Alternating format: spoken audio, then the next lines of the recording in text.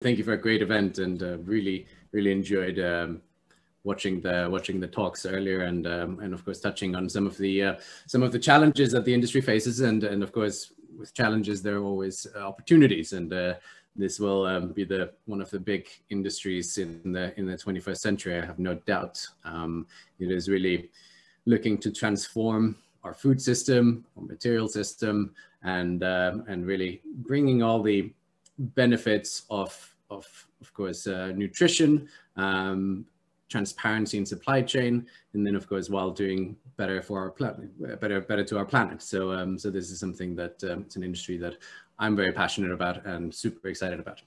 So I'm here to talk about what the uh, what the future of uh, of leather looks like. Um, so there's always the question of um, there's always the question of uh, you know what can new technologies be applied to and um, what industries will they transform in the future and uh, and uh, we've been working uh, for now it's almost five years on um, transforming the supply chain of leather with cellular agriculture. So I'm going to take a step back a little bit, and of course, I mean, uh, I'm, I'm, I'm preaching to the choir here, and uh, and and and you guys will, you know, have an understanding of what this industry is, but uh, but let's jump into it here. Um, what is cellular agriculture? It's uh, producing agricultural products from cell cultures. Um, and um, when that is um, kind of, it's mainly been talked about in the, in the food space. So that is, of course, whether that's seafood, whether that's meat, um, and then um, using you know, more an ingredient-based approach, which is uh, creating um, creating kind of milk products like Perfect Day is, and uh, and Clara Foods with with egg whites, uh, where they where they kind of um, was more of an ingredient product rather than kind of the final product itself. So um, this process, when I first heard about it, was uh, from 2011, when uh, when a company called Modern Meadow started up uh, with the with the aim of growing uh, growing meat and uh, and again leather.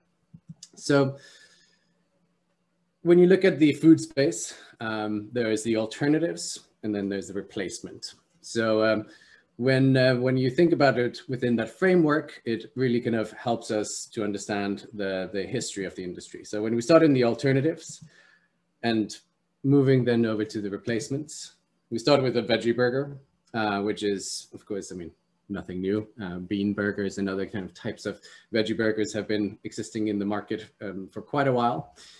Then it's the more kind of a, the hybrid approach. Um, Impossible Burger mainly based from made from plants, but then there's a there's a there's a heme that is uh, made through fermentation methods. Um, so again, kind of touches on cellular agriculture. But then when we kind of look at where this will be going into the true replacement, uh, for example, Mosa Meats, Memphis Meats, and and and and other companies um, that are looking to create the true replacements, that's where we believe the true transformation of the industry will happen and true customer adoption. And of course, Singapore being the first country now in the world to have uh, to have adopted um, to have adopted this uh, new way of uh, of this new food system. When you transform that into the uh, into the material space, um, you have in the alternatives. You have Piñatex, for example, that is creating kind of pineapple leathers. Um, you have um, you have Mycoworks who are creating mycelium-based leathers. Then you have the kind of um, the, the, the more of the hybrid model. Um, so again, um, it's not a lot of stuff out on Modern Meadows uh, new approach, um, but uh, kind of as I understand it, they're creating kind of an engineered uh, material equivalent of um, of kind of using inspired inspired by uh, inspired by leather. And then um, when you get over to the replacements where we categorize ourselves, that's when you kind of when you create the same product, um, just using different methods. And that's where we you know, can slot ourselves into an existing supply chain. So the question is, why leather? Now, leather has been an integral um, material for thousands of years. Uh, for example, this is um, this is a shoe um, that dates back 5,500 years, uh, found in a cave in um, Armenia. Um, so this shoe is actually older than Stonehenge. It's older than the pyramids. Um, and it really shows the kind of the durability and, uh, and of course, kind of leather as a material has been used for thousands and thousands of years.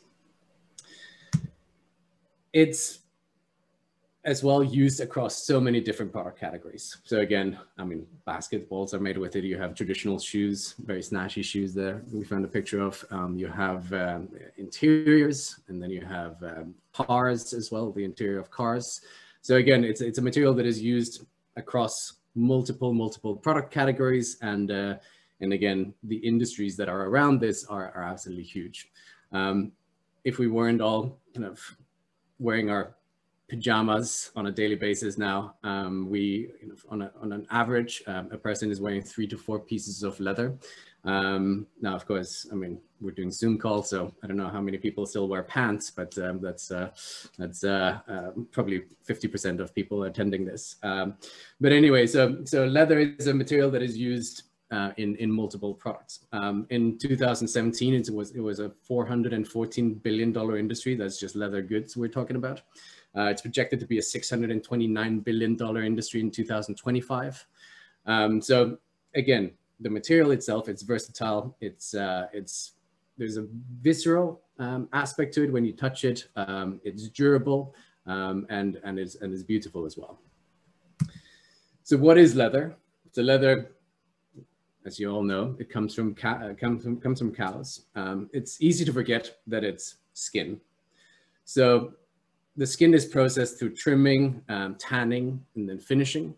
And throughout the process, many of the layers and the components are removed. Um, so again, you have to, they, they shave off a uh, big part of the thickness. They, uh, they have to remove hair, keratins, um, and then of course, excess flesh and fat.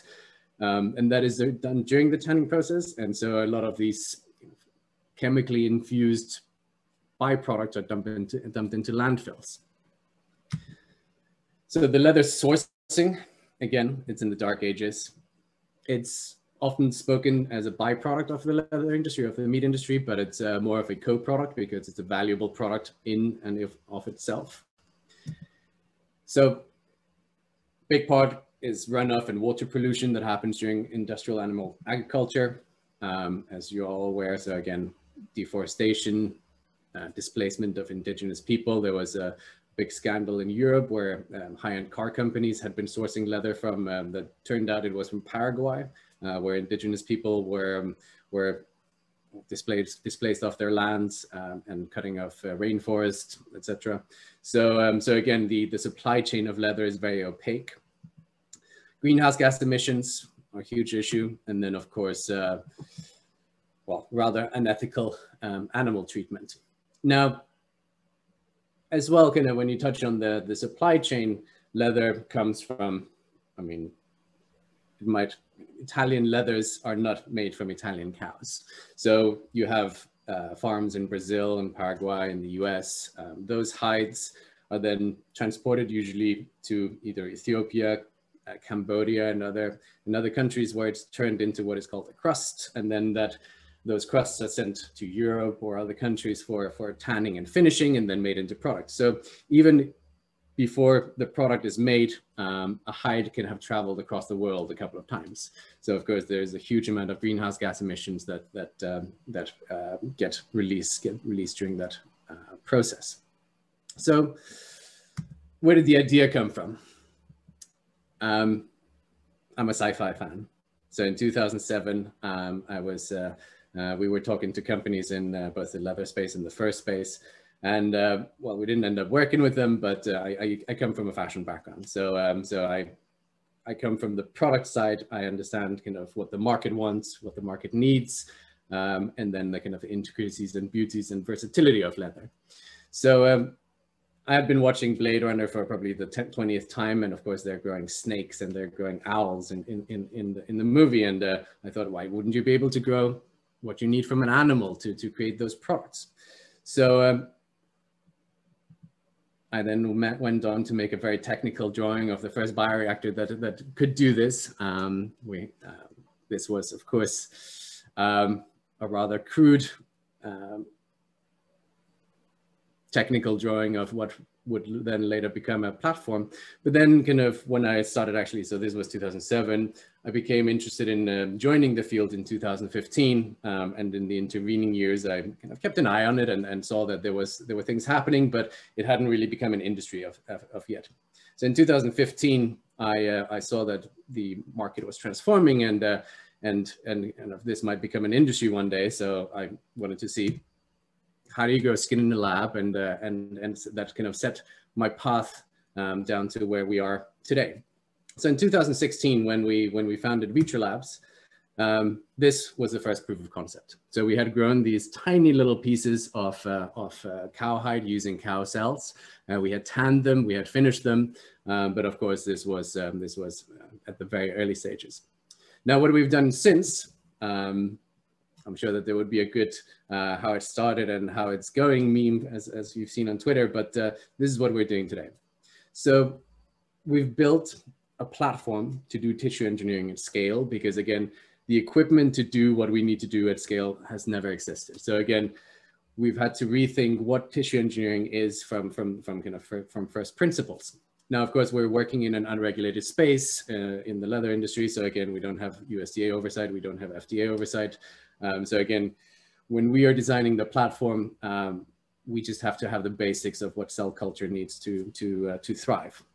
We've grown hides, as you see in the middle. Um, so these are some of the hides that we um, harvested this summer. Um, and then we've as well tanned and finished them and made into products. Um, actually wearing one of our watch straps here uh, on a daily basis as a, I say as a durability test, I just like how it looks and, and, and how it feels, but uh, and it's a, it's a great product. So again, this is not just a, um, you know, a hypothetical process, it, it, it's working in our hands. So if you look at the what a traditional process um, is, uh, from a tanning perspective. So again, and kind of from a sourcing perspective. So animals are raised for two to three years. We then um, slaughter them, we bleed them, they're skinned. Uh, it's a pretty medieval process, if you ask me. Um, hides are then trimmed and sorted. This uh, then, as I mentioned, around the supply chain, they get shipped all over the world um, for finishing. Then they get usually shipped back to the Europe or uh, or kind of other countries that or other places where where, where they're kind of where there's high end tanning.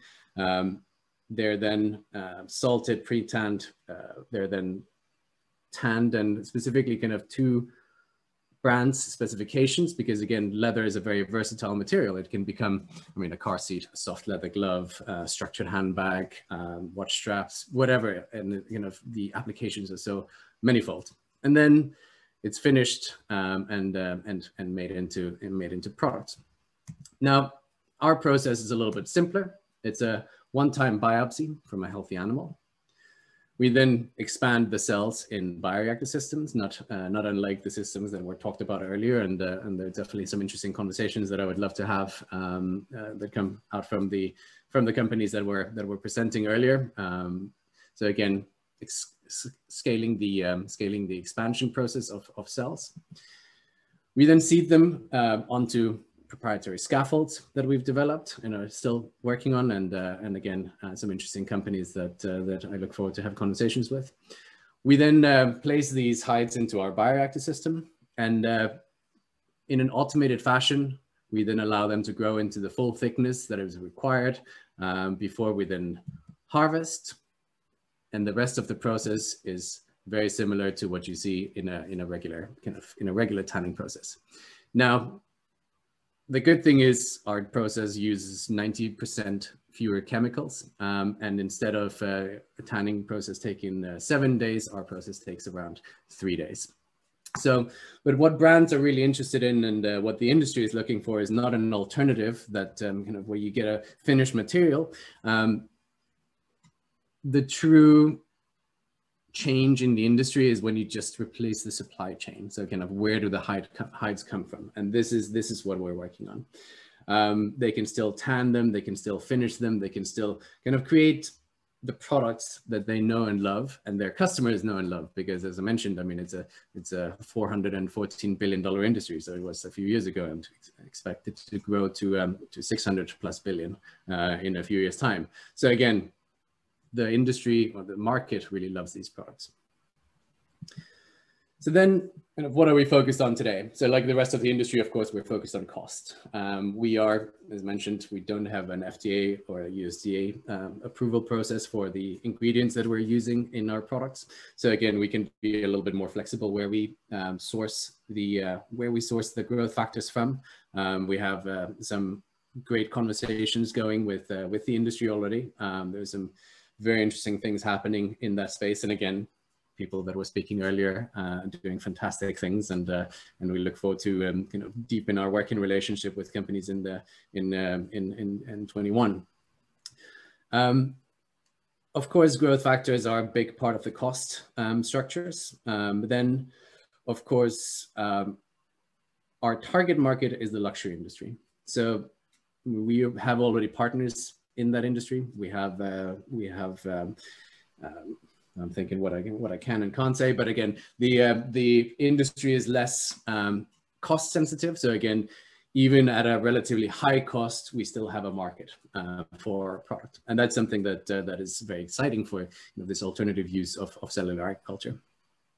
Then, when you think about kind of how do we do this at scale, um, we have really had to rethink about. I mean, you can't buy industrial sized bio uh, tissue engineering systems um, in the market. So again, we've had to design this from the ground up. Um, this is kind of our version zero of what we have developed. Um, and then uh, we have uh, the next phase of, of those, uh, of those uh, systems already in, in the works, both, um, both in our labs and, and developing and designing the next phase of it.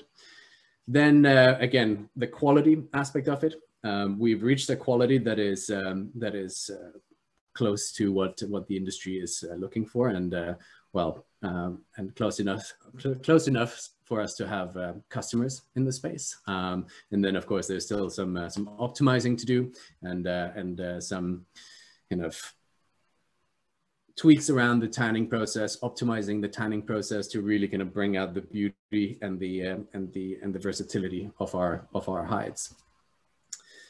So when you look at what the future is looking, I mean, what the future holds for us, and not just in the leather space, but again in the in the entire industry, um, we all we're all working towards the same goal here. Um, we're working towards the goal of uh, removing animals from the supply chain. We uh, believe that there is a better way to do things. Um, we believe that not only will it help the food systems and the material systems um, in, in resilience to, of course, we've seen with, with what happened with COVID. Um, but as well, I think uh, there's a huge opportunity, and again, why Singapore is interested, and I know that, I mean, um, the UAE and other countries that, uh, that are you know, thinking about food security. Um, a big part of it for them is how can we produce things locally again? Do we need to be shipping products in uh, whether it's food from one place in the world across oceans um, and then um, consuming it in, in another place? Um, for us, it's very much kind of we want to be able to grow the hides where the hides are being used, uh, both in the tanning process and then in the finishing process and in the making of product. So again, there's a huge opportunity for localized production that can cut down on um, greenhouse gas emissions that happen through shipping, uh, on-demand manufacturing. Um, it's easier to plan out a manufacturing process when you can dial up and dial down the, uh, the volumes that you're producing with a few weeks notice rather than having to think years in advance because of course, I mean, a cow-based system takes two to three years to grow for, to, to, to full size. So again, you can't dial these things up and down as, as you would uh, with an on-demand um, production system.